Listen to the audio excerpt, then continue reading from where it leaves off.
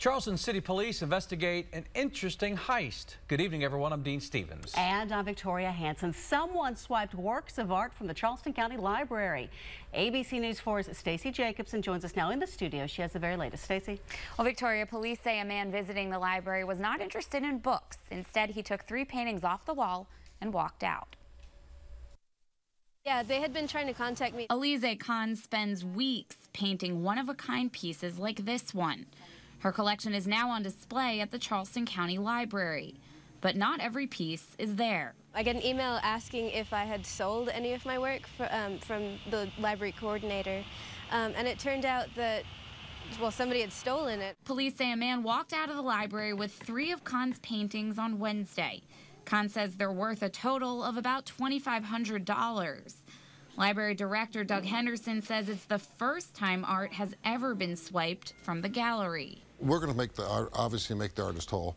We want people to know that that we are here, that the art is here, uh, that we want the art to continue to be shown. We want the artists to know that it's safe to show their art here. Officials say the three paintings stolen were all around this size, so that means the suspect could easily put them in a backpack and just walk out. It's sort of flattering that somebody liked it enough to steal it, I guess but it's still really depressing to have it stolen. She says she hopes the library can add better security, like putting tags on the art that set off the security buzzers.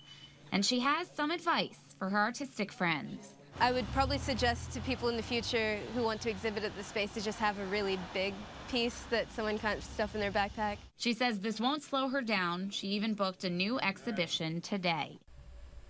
And police say no one who works at the library recognized the man on the surveillance video. Their investigation is ongoing. Dean? Well, police have arrested the man they say is behind a string of painting thefts at the Charleston County Library. ABC News 4's Stacy Jacobson joins us right now with much more. Stacy?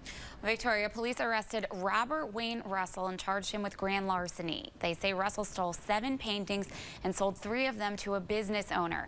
Now, the business owner turned him in to police. Two more pieces of art swiped from the Charleston County Library. Officials say it's the same man who took three paintings on Wednesday. You can see him here on surveillance video. He takes his backpack downstairs, hides it behind a trash can, comes back in the building, and then leaves with it. The suspect has now stolen four pieces from artist Alizey Khan. She was disappointed but also flattered when we spoke with her last night after the first three.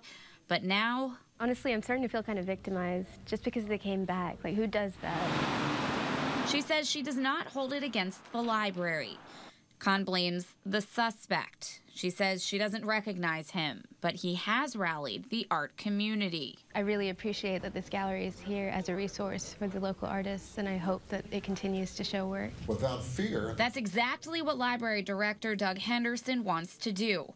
He vows to make the library safe for artists of all ages. We showed the art shows that are out there from the schools, and we don't want that to be stopped.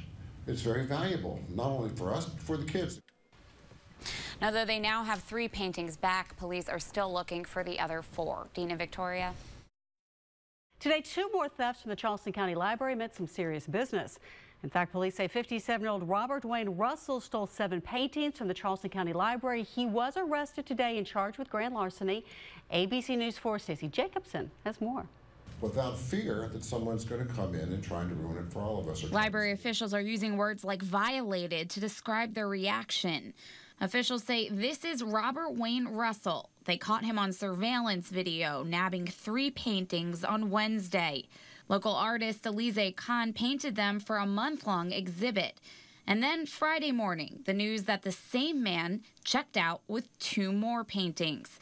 Library Executive Director Doug Henderson says the Low Country art community will stay strong, and Khan is behind him. To have someone come and steal the art is almost like they're stealing part of the city itself. Like they're just they're taking something from the whole community, not just me. She says she supports the library the four pieces were worth almost $3,000. The library is consulting with its security company to figure out a better way to secure the art.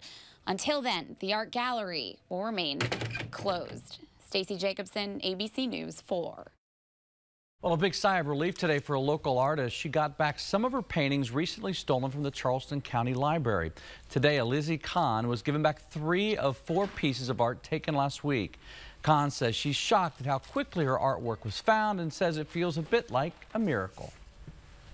I'm so glad they're back. Oh my God.